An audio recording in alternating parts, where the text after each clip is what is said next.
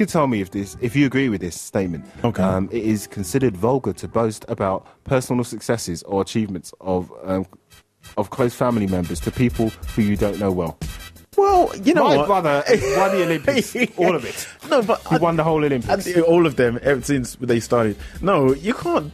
That's a that's a mixed bag because there are times and places. You know what I mean? I mean, say if you're really proud of your family and, and you want to, you know, Yeah, because you know you get like I remember in school you you'd get like them boys say, "Yeah, my granddad was in World War Two. Or the big lies like the boy who said his uncle was Eddie Murphy. Yeah, I remember. I, I, I'm not going to mention his name. I actually remember it, but um, I think I think we all had someone like that in our school Yeah. at, at one point. yeah, it's funny. Murphy's my cousin. You know. Yeah, and why I- tell me that? That's it, 'cause That we're never be able increase to your prove fame that. by anything. Yeah, yeah. You're never gonna. He's never gonna come here. You're never gonna be able to prove this, are you? So why why even Yeah. continue? But especially to people you don't really know well. Well, yeah, I suppose you don't walk up to people, random people at the bus stop, and say, "Yeah, oh, yeah, my uncle's Geoff Capes or something." I mean, that's be pointless. Because he isn't. Well, they probably know that by looking at it, but the chances are they don't know. Hey, who are you to judge? Or maybe just walk off quickly before they can even say anything. Uh, Excuse me, no, no, you know he's Geoff Capes, bye, and then you know I'll tell you you one you're that- the winner.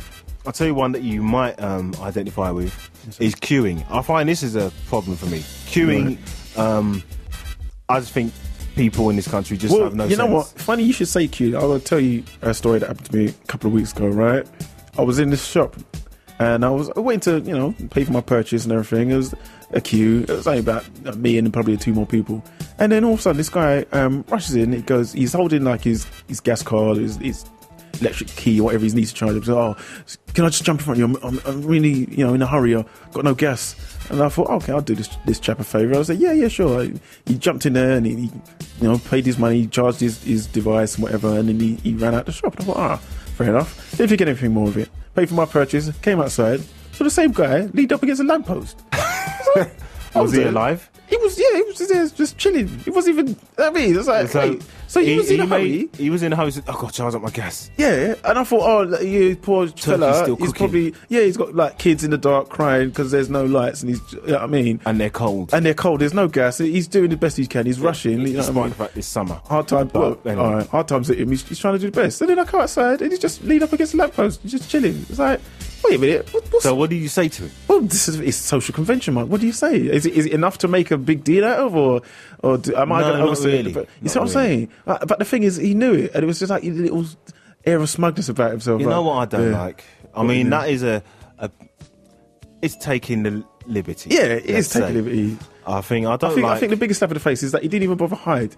If, if I was going to do something, I'd just make sure that the person don't see me when they come to the shop. No, but he- he, didn't care. He wanted he's me got to one see. over on you. Yeah, he, he wanted me to know he got one over. Yeah, me. but he knows that it's too small a deal for you to make a, Well, a big deal out. This is the thing, and uh, I mean, as us as British people, you know, brought up in British culture, we're, we're brought up not to make a fuss about little things. Mustn't grumble. Mustn't grumble, stiff upper lip, and all that. You know what I don't like? Yeah, I mean it's my own little private hell. What's that? Waiting in the queue of a cash machine.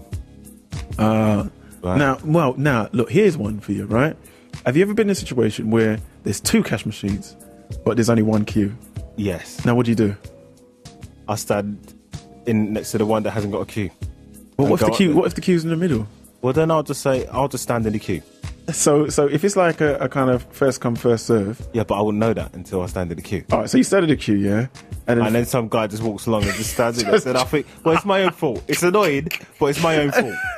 I think, well, and if no one else says anything, So well, I think- well, I'm not going to say anything. I'm not going to overstep this, the boundary. Yeah, no, no. what law has he broken? Well, this is it. You There know? is no law. There should be, Mike, Yeah, But what I don't like but there is isn't. standing, and it's not even a queue. You're standing behind the person who's at the cash machine. Okay. That's the most annoying thing about it. I'm almost there. Yeah, and You then know, what, it's just that waiting inside. that annoys you. Waiting there, and I don't want to sound chauvinistic, but it tends to be women in this situation, right? Um, Okay. putting the cash card in to check the balance. Yeah. The machine will say, "Do you require any further services?"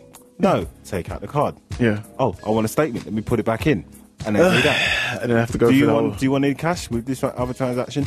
No. Take it out. Wants cash. I see. Takes so out they- the statement, reads it, despite the fact she just looked at the balance on the screen, and then They decided that And the situation had changed. and then decides I'm not going to take money out of this account at all. I'm going to just um, check my balance in this and then walk away. Wait, oh, yeah. They- well, and the worst part is even if you are waiting behind that person, before you got to the cash machine, Yeah. there's someone in front of them who takes equally long. They Yeah. move out of the way. Yeah. That woman gets to the cash machine, then decides that Do she's going to. palaver. Yeah, and Yeah. looking her bag to see if she's got her card in the first Well, place. it could be worse. Have you ever been trapped behind someone who wants to check about six accounts at one time? yeah, I usually walk down the road because I, I will go mad. This will never end. Goodbye. Just walk off. Uh, I walk down the road. I'm the winner. in a huff. Yeah, in a huff. Make sure they know you're in a huff, Yeah. Mike. That's make it. make a huffing noise as you That's leave. it. and, and, yeah. Well, yeah. Sometimes I do. Oh, bloody hell. so You just know- loud enough for them to hear, but Yeah. not, not loud enough so they can actually say Yeah. anything back. That Yeah. kind of level of, of loudness. Yeah, you know. Bloody hell. Yeah. Yeah, could be talking about anything. Anything. Ah, Life. no. Idiot. Oh, Not Yeah. you, mate. Someone else. Yeah. You don't know. Oh, oh, it could be anyone. Yeah. don't remember. Well, it isn't. It's you.